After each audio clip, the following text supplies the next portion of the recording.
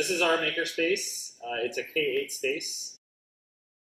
We do all kinds of different projects in here. We do standalone maker activities. We do um, fully integrated projects. Uh, one of our big sort of guiding philosophies in our makerspace that's a little bit different than other makerspaces is that idea of inclusivity and um, integration. So that looks like second graders doing social studies, even if it's just using our gigantic floor space to make a, a giant model of a dinosaur. Uh, but it's also things like uh, 7 8 uh, middle school students um, doing trimester long STEAM projects. There are like two major approaches we take uh, at the Makerspace.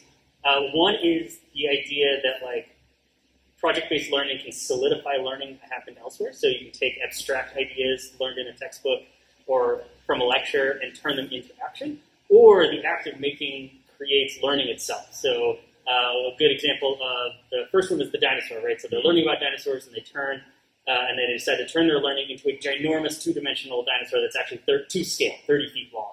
Um, but uh, the other one would be the um, Makerspace Ninja Warrior project, which was a hybrid. They took a bunch of their learning, thought about how it might apply to an obstacle course, and then were very wrong. You know, had like lots of things they needed to learn and be frustrated with and kind of get feedback on as they learned more and more about the physics they were trying to interact with by making the obstacle course. So we have these kind of two inroads that allow us to reach every subject, because every subject can fit one of these models here in the Makerspace. Yeah, and I think you kind of hit on something that's also critical, which is um, our size. So if, you know, I'm sure you'll see in this video um, how big our makerspace is, but also how open we keep it, um, and that's on purpose. Um, all of our sort of furniture and um, uh, tool storage areas are modular and on wheels, and we make most of them here, so they're totally customized for our needs.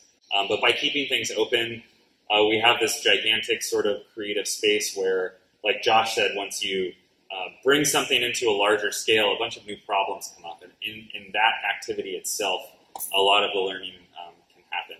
And we're sort of really committed to keeping this a big open space where student ideas can go from a small sort of, you know, maybe in, in the classroom classic uh, type situation to completely a huge sort of mind-blowing example of, of what they're working on. The, the makerspace in its sort of essence and core, and core is a collaborative space.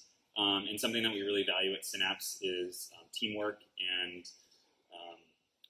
you know, like we've talked about probably at length, is project-based learning and um, trying to sort of break down the silos of school and show students that the work that they're actually doing is real work. Um, it's not work that they're doing to prepare for the real world. Yes, they are doing that also, but we like to treat it as their world is real right now, um, and with that comes a lot of challenges.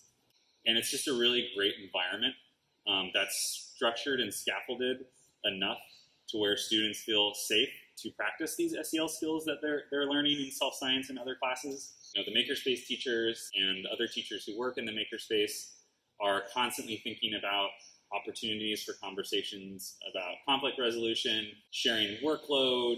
Optimism is huge in here. It is daunting to think I have to build this 10 foot tall structure.